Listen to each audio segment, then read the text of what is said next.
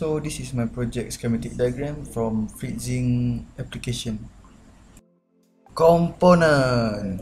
So, seven segment LED, three LED, potentiometer, four 220k ohms resistor, the breadboard, and our hero product Arduino Uno.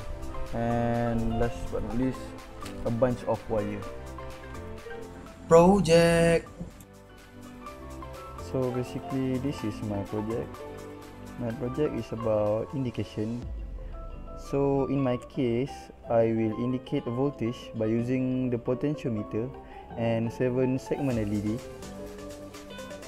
Okay, as potentiometer give analog input to our Arduino Uno and I specify that analog input to 4 threshold Okay, so right now as you can see, the only LED that light is only green LED and 7 segment show 0.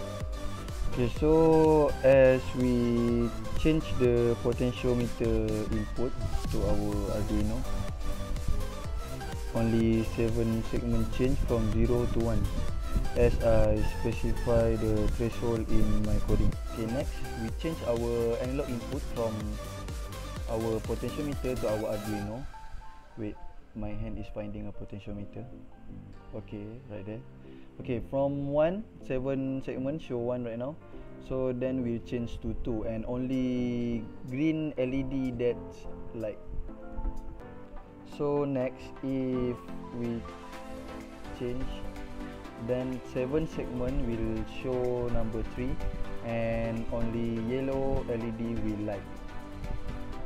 So next from 3 we change to 4 and only red LED that we like. Okay, from 4 we change it to 5 and all LED will light up.